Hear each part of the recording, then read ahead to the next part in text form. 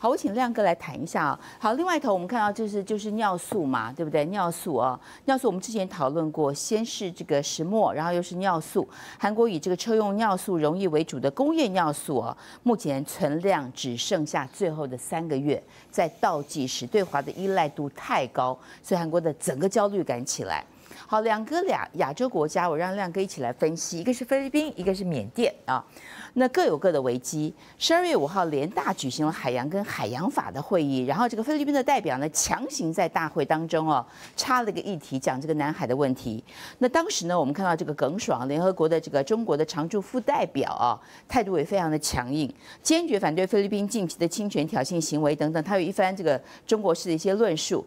那同时哈，你看到这十五号进行。马上十二月六号，大陆就发布了南海的航行警告。七号到八号啊，南海附近实施了这个军演嘛，哈，禁止驶入。然后另外一头，大陆的微信公众号也告诉大家，那个马德雷山号锈迹斑斑，旁边哦舰体两侧已经破了两个洞。目前开始漏水了啊，所以现在这个菲律宾跟美国必须要加速，要快一点，要不然恐怕就要自己沉了。还有一个就是缅甸啊，缅缅甸我们看到军政府现在好像是节节败退。那缅甸这位副总理兼外长这个时候来到北京，然后跟王毅见面，大家都觉得他是来求救的，双方都有一番表述。那当，王毅再次重申中国的立场啊，双方是这个全面战略伙伴，不干涉缅甸的内政，这是大陆一贯的立场。呃，在此同时，缅甸内部出现很多危机哦，包括现在这个缺油啊，所以你看到这个加油站前大排长龙，等油等不到。然后在战事的部分呢，同盟军是继续挺进，然后这个军政府节节败退。联合国统计，此刻总共超过两百万人流离失所，一个菲律宾，一个缅甸，两个。菲律宾，我觉得，因为它有四十艘民船呃在蓄势待发嘛。那听说中国大陆也准备了一百三十艘船在蓄势待发啊！我认为菲律宾最近的连续动作，就是知道习近平十二月十二要去越南了，所以他背后那个老板希望他在那之前闹点事了，对，让习近平跟越南要讨论南海问题会比较尴尬。我是觉得是有时间上的考虑了。那习近平去越南只有十二十三两天嘛？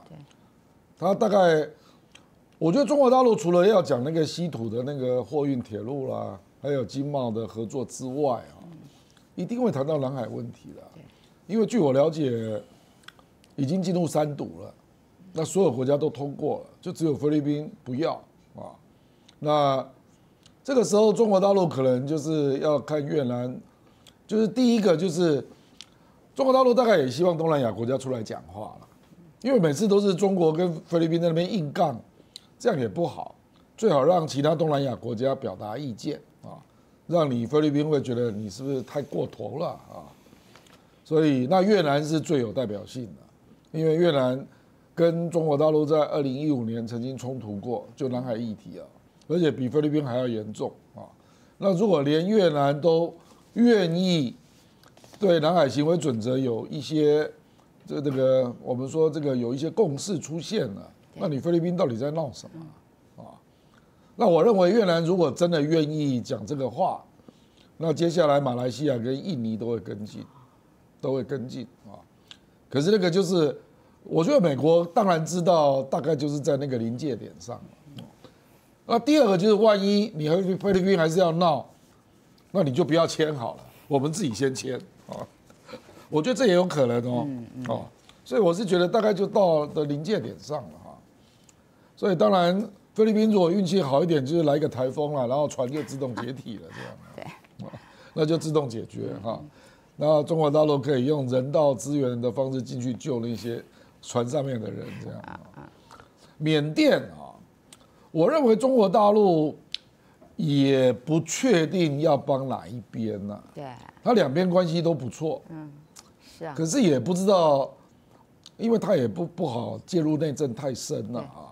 那军方事实上，坦白说了，军方也有很多问题的，就是你就是跟那些诈骗集团勾结嘛。对呀。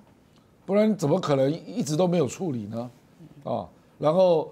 你一直这个中央政府就是没有办法有效控制尤其是缅北的那些割据地带，实际上不止缅北，缅东也有对对不对？所以，所以这种情况，你一个国家治理本身都出问题的地方啊，这个有有点类似那个民国初年军阀割据了，你知道吧？啊，所以那个呃谁是中央地方啊？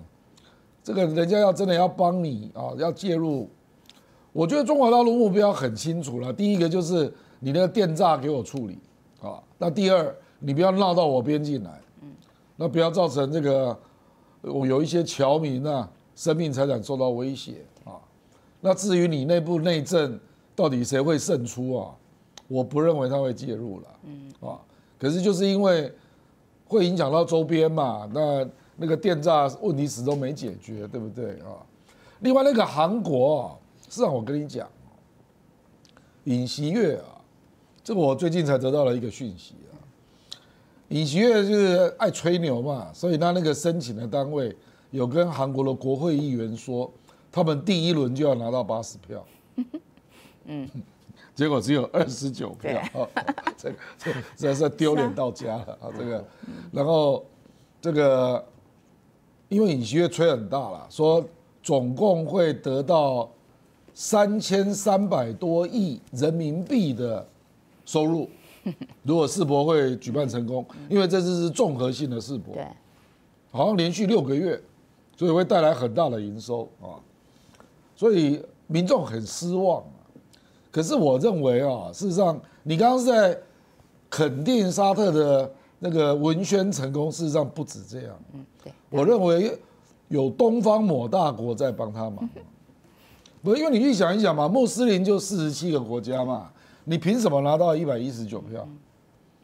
我我认为中国有帮忙啊，有帮他也是应该的嘛，哈，尤其是跟现在韩国的关系不好，当然啦、当然是这样啊。你比如说你你那个这个东南亚的票，然后非洲的票，我相信沙特没那么厉害了，对，应该是有人帮他忙了，对，就是这样。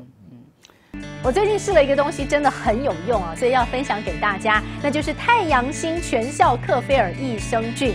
哦，吃了两三天，真的有明显的感觉。最主要就是睡眠的品质变好喽。那你知道这个睡得好呢，整个人工作就可以更加的专注，当然情绪也就变得更好了。因为太阳星全效克菲尔益生菌，我才认识了这个克菲尔益生菌。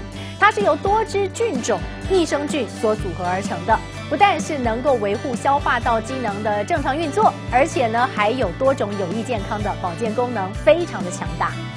有台大教授专门研究它，把它叫做神仙的礼物。而您知道吗？有上千篇国际研究证实，克菲尔益生菌不仅是帮助肠道健康，肠道菌透过肠脑轴影响全身的器官，所以维持肠道菌种的平衡，这是解锁身体健康、精神健康的钥匙。